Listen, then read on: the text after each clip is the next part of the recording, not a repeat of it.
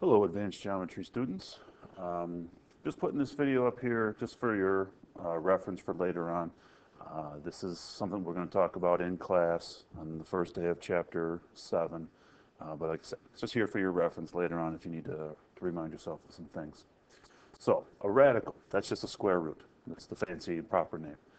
Um, to simplify radicals, uh, you know, it's not a necessary thing, but many questions ask for it, and it's the proper way to write a number, is to simplify that radical.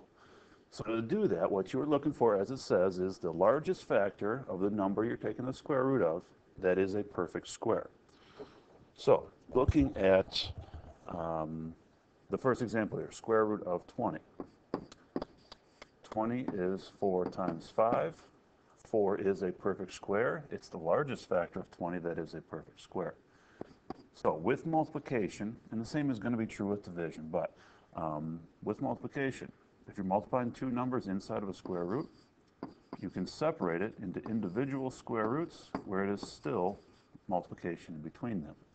Square root of a perfect square is a nice clean integer. So square root of 4 is 2 times square root of 5 5 is not a perfect square, and it doesn't have any factors that are perfect squares. And so this is the simplified version of the square root of 20. They are the exact same value. It's just cleaned up a little bit. It's the idea of just simplifying a fraction. All right, 4 over 8. It simplifies to 1 half. It's the better way to write it. It's a cleaner way to write it usually. All right, so this is what we want to do. So in this uh, second example, square root of 18. Uh, just thinking about factors of 18, looking for perfect squares. 9 times 2 is 18. 9 is a perfect square. So, square root of 9 times the square root of 2, which is 3. Square root 2. Simplified. All right, for the last example, square root of 120. Sometimes it's not an obvious uh, factor that is a perfect square. So what you can do is just look for factors, all right? Um, 120, I know 4 is a factor of that, goes in there 30 times. So now just keep on breaking down your factors. Uh, factors of 30 that are perfect squares. Well, factors of 30 are just uh, 1 times 30, 2 times 15, 3 times 10, 5 times 6. None of those are perfect squares.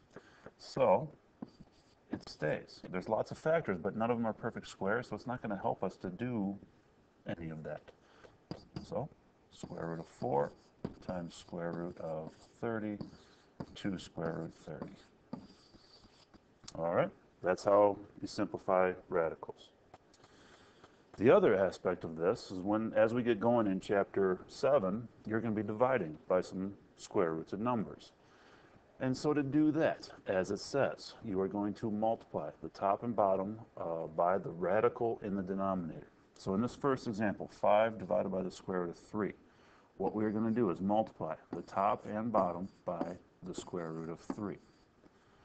Okay, square root of 3 divided by square root of 3. Anytime you take a number and divide it by itself, it's 1. So what we're doing is just multiplying by 1. So we're not changing the value. Okay, we're just going to make it look different. So when you multiply fractions, you go straight across. 5 times square root of 3 over the square root of 3 multiplied by the square root of 3. Uh, just off to the side. You could go in the other direction as what we did in the last slide. Uh, normally, what we did before was separate them into individual square roots. Now you can bring them back together. Square root of 3 times 3, which is 9. Square root of 9 is just 3. So when you multiply two square roots of the same number together, it just gets rid of the square root.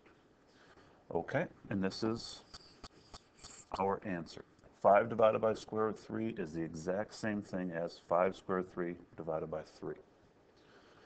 Okay, looking at this next example, multiply top and bottom by the square root of 2. So we get 8 square root 2 over 2. Now, 8 and 2 have some common factors, so cancel them out. Uh, 4 multiplied by the square root of 2. What we did here was 4 times 2 times square root 2 divided by 2. Those factors of 2 canceled out, leaving us with that. And that's our answer.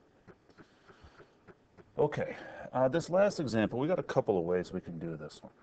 First is just doing the same thing we just talked about. So square root 3 over square root 3, multiply by that. That gives us square root of uh, 6 times 3. I'm going to combine them into one square root over 3. All right, 6 square root of 3 is 18. Well, we just did the square root of 18 on this page. It's 3 square root 2 divided by 3. Those 3's cancel out. We just have square root of 2. That is our answer. Okay, the other way we could have done this, when you're taking the square root and dividing it by another square root, you can write them as the square root of a single fraction, 6 over 3. 6 divided by 3 is 2, so we got the square root of 2. Same answer. Different way to look at it. All right, that's the, the gist of multiplying and dividing with radicals, the square roots. Um, like I said, this is just here for your reference. I hope it helps. Have a good day.